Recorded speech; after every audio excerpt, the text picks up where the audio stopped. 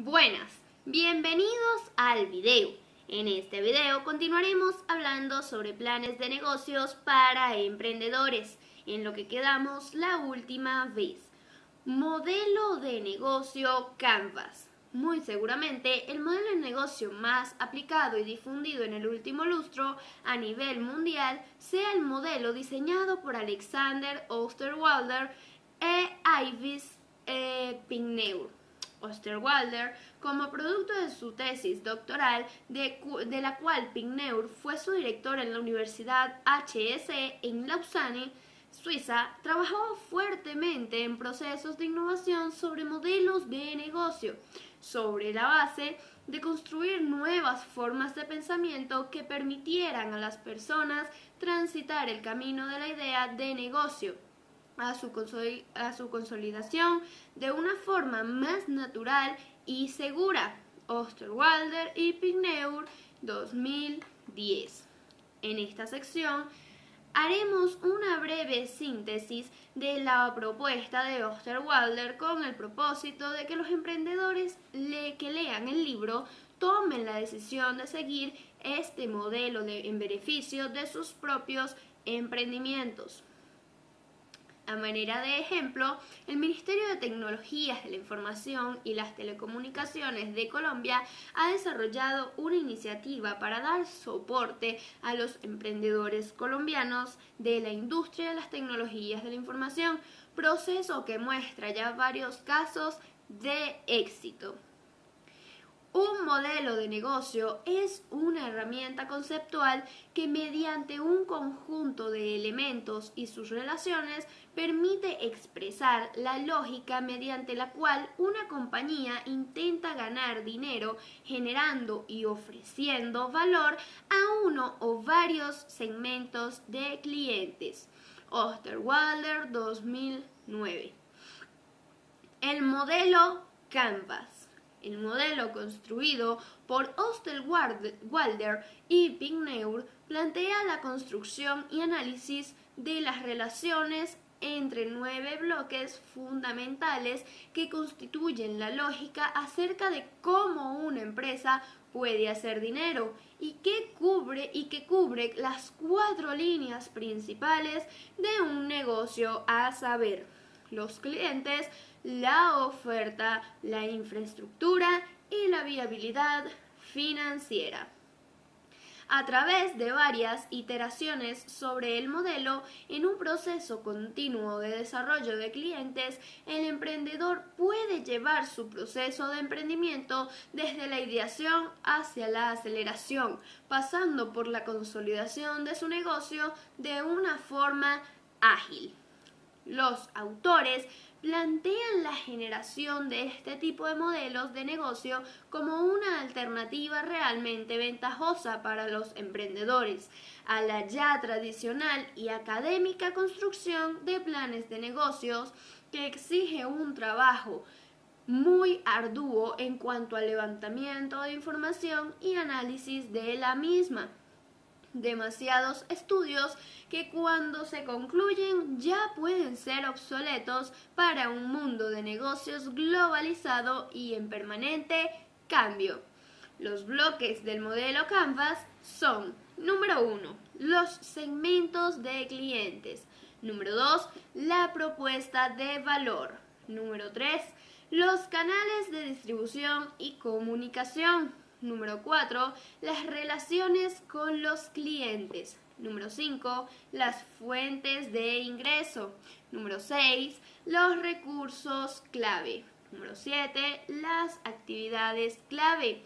Número 8. La red de aliados. Y número 9. La estructura de costos. Los segmentos de clientes.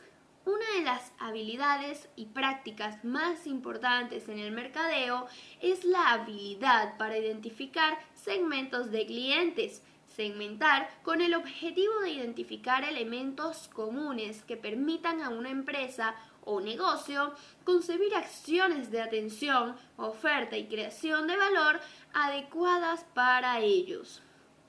En general, los clientes pertenecen a segmentos diferentes si o bien sus necesidades requieren y justifican una oferta diferente, o si se requieren canales de distribución diferentes para llegar a ellos, o si su índice de rentabilidad es diferente, o si existe una disposición a pagar por diferentes aspectos de la oferta. Osterwalder 2012 estas agrupaciones o segmentos normalmente pueden identificarse al analizar diversos factores demográficos, sociales o económicos como el sexo, la edad, el grupo étnico, la cultura, la religión o el estrato socioeconómico, entre otros. Las preguntas claves a resolver en este bloque son ¿Para quién creamos valor? Cuáles son nuestros clientes más importantes. Al resolver estos interrogantes, podremos entender que un mismo negocio, como por ejemplo un restaurante, creará valor diferente dependiendo del nicho o segmento de mercado que desea atender. Así, por ejemplo, un restaurante que atienda familias jóvenes pensará en un entorno propicio para ellas, con espacios seguros y lúdicos para los niños e instalaciones adecuadas para las mismas, a diferencia del restaurante que atiende universitarios y jóvenes profesionales, para quienes una pista de baile como complemento les podría ir muy bien. Esto nos lleva de la mano al segundo bloque, la propuesta de valor el hecho de que un cliente prefiera comprar nuestros productos o hacer uso de nuestros servicios sobre la competencia está íntimamente relacionado con nuestra propuesta de valor. Cuando respondemos a interrogantes tales como ¿cuál problema de nuestros clientes estamos resolviendo? ¿Qué valor proporcionamos a ellos? ¿Qué necesidades satisfacemos? O qué servicios y productos ofrecemos a cada segmento de clientes. Osterwalder 2012. Estamos fijando los criterios para definir nuestra propuesta de valor. En mercado es muy conocido el concepto de mezcla de mercado mediante la cual se combinan producto, precio, plaza y promoción para brindar a los clientes un producto o servicio que realmente consuman. En este caso, se propone encontrar una mezcla o combinación de elementos tales como calidad, velocidad de servicio, atención, que sean fácilmente identificables por el cliente y nos permitan ganar su confianza y lealtad. Así, por ejemplo, diseñar y ofertar un patín más aerodinámico, rápido, con mejor agarre, será un producto que valore el segmento de los deportistas de patinaje de alto rendimiento. Canales.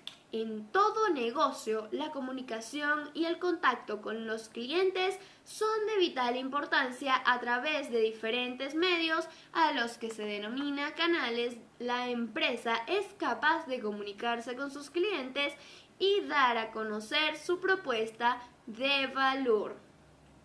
Existen diferentes tipos de canales como los puntos de venta, las reuniones, los congresos, la publicidad en diferentes medios como la radio, la televisión, el Internet, entre otros, mediante los cuales podemos comunicarnos con nuestros clientes. Estos canales son diferentes para cada segmento de mercado y deben relacionarse muy bien para lograr los mejores momentos de interacción con quienes demandan nuestros servicios.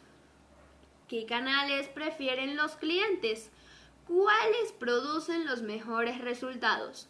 ¿Cuáles son más rentables? ¿O cómo deben ser combinados?